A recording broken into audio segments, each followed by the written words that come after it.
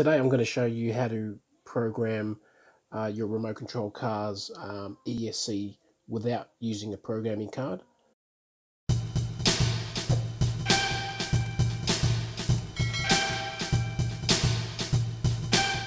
Hey guys, uh, welcome back to my channel. Today I'm going to show you how to program uh, your remote control car's um, ESC without using a programming card. Um, not everybody has a programming card for their ESCs. Um, so I'll just show you, I guess, on these two models. This is a a brushed sensorless uh, ESC um, that I installed during my brushless installation. We'll also show you um, how to do it on this um, FS Racing 53632 um, Raptor Baja. They're similar procedures and uh, hopefully these two examples will be able to help you out getting uh, the programming done on your ESC. So the ESC programming will obviously may be slightly different for other models, um, but hopefully these two will get you started or give you an idea on what you need to do to program your ESC without a programming card. So I'll start off with um, program, programming some parameters in this ESC that's on this WL Toys car I have. Um, just in case you're wondering what this programming business is all about, um, basically some, uh, your ESC or most ESCs have the ability for you to change the uh, some of the parameters uh, in the ESC. Um, those parameters are basically features um, such as like uh, uh, like your low voltage cutoff threshold or or maximum brake force um, percentage, things like that. Um, you know, if it's working fine for you out of the box, then you probably don't bother changing it. Um, but you know, if you don't want to buy a programming card, um, or you just don't have one and you want to program program it without it, then uh, yeah, just keep watching. So um, with this ESC, um, well, firstly, you need to know what uh, ESC brand and model you have, um, because in your manual that came with your ESC, um, or you might have to download from the internet if you don't have a manual. Um, you'll need to uh, grab hold of your um, a table of parameters. Um,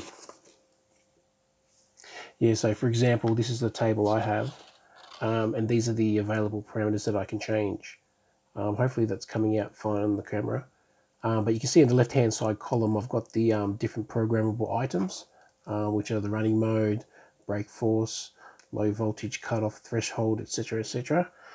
Um, and then these are the values that you can set for each of these ones, each of these uh, items. So you can set to one, two, three, four, all the way to nine. Um, but obviously not all the items go up all to nine. So um, I'll show you an example to start with um, on my ESC on how to program or reprogram it or view the current setting. Um, so firstly, of course, you need to have a battery attached to it.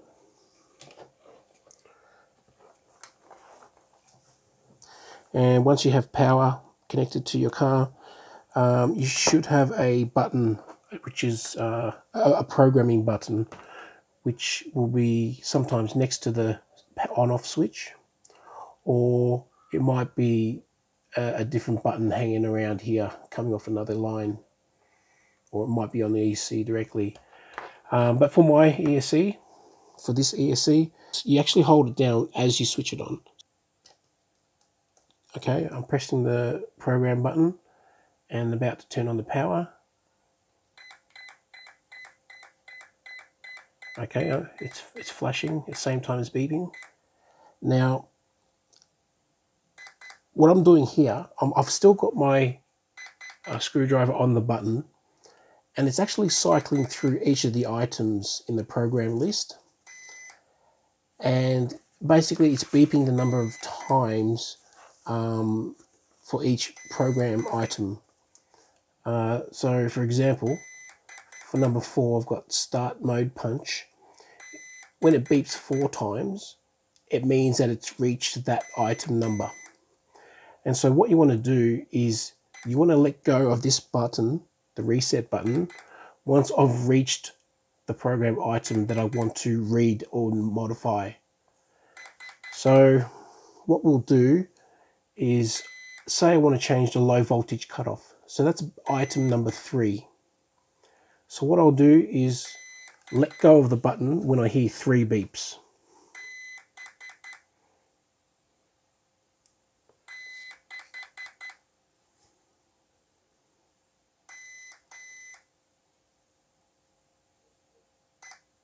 One beep, two beeps, three beeps.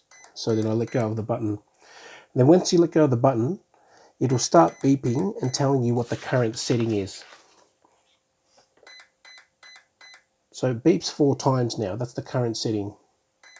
So if I look at my table for low voltage cutoff and for four times, it means that it's currently set to 3 volts per cell. So 3 volts is the cutoff uh, threshold. so that basically protects the battery from, from getting damaged and too over discharged. So as you can see, it's beeping uh, four times. And if I want to change that to the next value, say I want to change it to 5, which is 3. Point, no, let's say, let's an example, change it to 6, um, which is 3.4 volts per cell. So what you do is you press the button once, the reset, sorry, the program button once.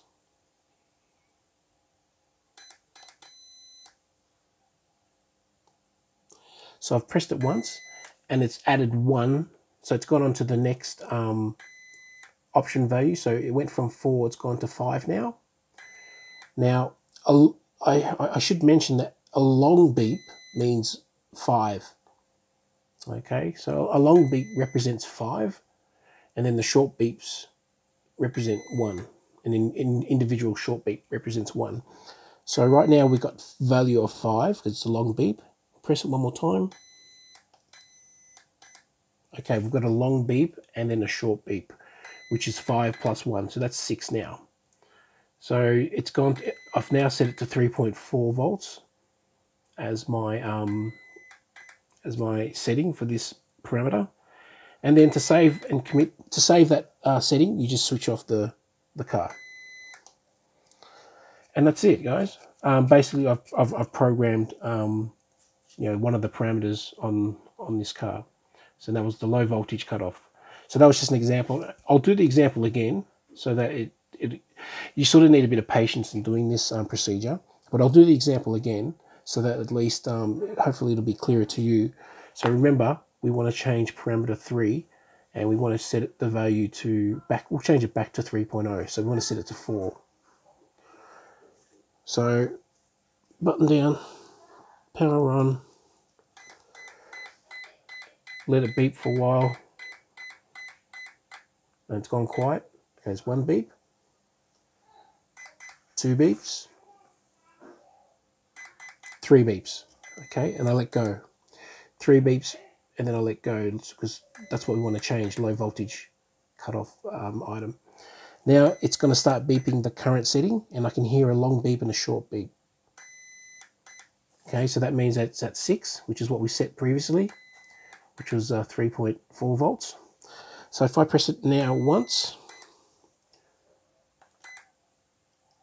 Okay, I pressed it once and it's gone from 6 back to 1 because you hear the 1 beep now. Okay, press it one more time. Okay, two beeps. We want, we want it to be four beeps, so I'll press it one more time. That brings it to three beeps. Press it again. Okay, that brings it to four beeps and we're now at 3.0 volts per cell, which is what we want. Turn it off to save it. And you're done. You're done programming that parameter. So you do the exact same thing for each each item that you want to um, to program. Um, it takes a bit of time to do, but um, once you've done it a few times, you get the hang of it, and you'll be able to just uh, quickly check the value and set the value of whatever item you want to change. Um, but yeah, that's how you do it on the on this on this on this ESC on the WL Toys car I have. All right, now I'll go through a quick example on the um, FS Racing Raptor Baja car, the uh, 53632. Um, it should be, I think it's pretty much the same thing.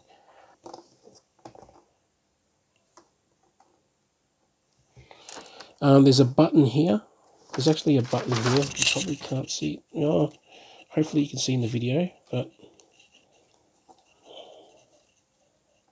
yeah, that's an actual program button there, and then there's a switch behind it. Um, and same thing as before, um, you'll need a table. Um, the only table I could find for this one on the internet uh, is only got five items down here. Uh, the running mode, drag, brake, force, low voltage cutoff threshold, start punch, and the maximum brake force. So again, I'll and, and then the yeah the black ones, the shaded ones are the default values. Um, so what I'll do is I'll go ahead and change the um, the low voltage cutoff threshold. Um, the default value of no protection is not a good idea. Um, so I don't know why they put that as default. But what I'm going to do is I'm going to make sure that it's set to 3.0 volts or at least, yeah, at least 3.0 volts. And I'll change it to 3.4 then change it back quickly for you. So that is item number three. And so therefore we want three, three volt, uh, three, three beeps for that item. And we want to change it to six over here.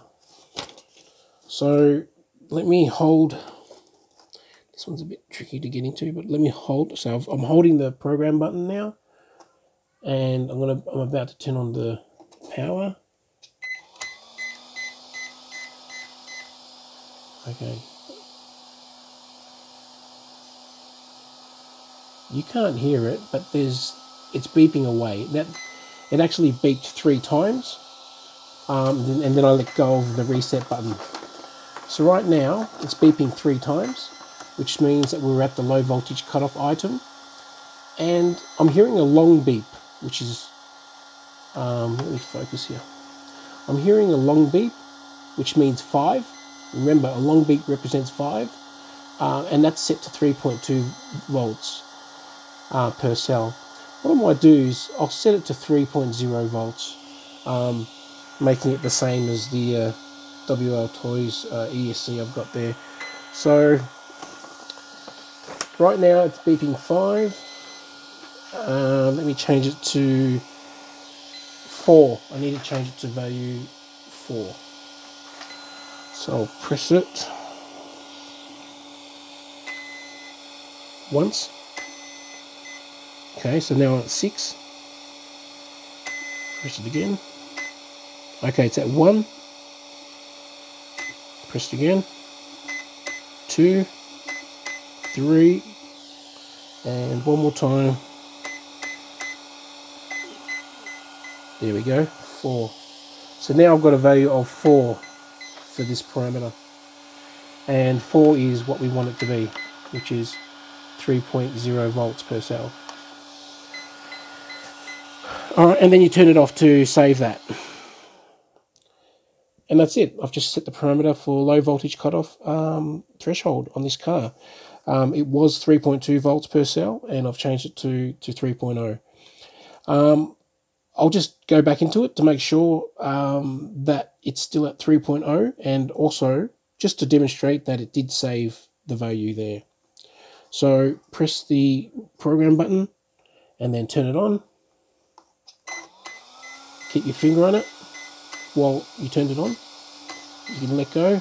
Oh, I let go too early. Sorry, guys. Okay, fingers on it. And I'm supposed to let go of the program button when I hit item 3, so when there's 3 beeps. So turning it on, still pressing it. Okay, one, two, three. There. Okay, and I let go counting four beeps now. Okay, four beeps, as you remember, uh, on our table is the value that we set it to. Four. is 3.0 volts per cell. And that's for item 3, low voltage cutter. Alright. Well guys, uh, thanks for watching this video. I hope that uh, helps you out with programming your ESCs without using a programming card. Um, not everybody um, has a programming card, and I I'm just I just don't want to buy one. I don't want to waste money on it when I can when I know I can program it manually like this. Uh, it just takes a bit of time and patience to learn it, but once you've learned it, um, you'll be able to make a change to any of your programming settings um, with ease. Um, and uh, yeah, just don't worry about this. This is broken from a had a few accidents um, the other day. Um, you can check that video out if you like. Um, but yeah, that's that's pretty much it. I hope everybody enjoyed this video. Um, please leave a thumbs up if you liked it and a comment if you have any suggestions or if you have any questions whatsoever about this. Please feel free to to leave a comment and um, I'll get back to you as soon as I can. And I've still got these two boxes here. Basically, um, they're it's some mail that came in during the week. It's two drones that I've yet to unbox. Um, I hope to do those during the week, but the only problem is once I unbox these, I can't um, actually go out and fly them because um, of the stage four lockdowns here in Victoria, Australia. So it's a bit disappointing to open them when you can't actually play with them. But um, yeah, once once the restrictions are lifted, I'll certainly um, go out and fly these two drones hopefully do an unboxing video of those drones uh, as soon as possible. Um, thanks again for watching, and I hope you have a great day. Thank you. Bye-bye.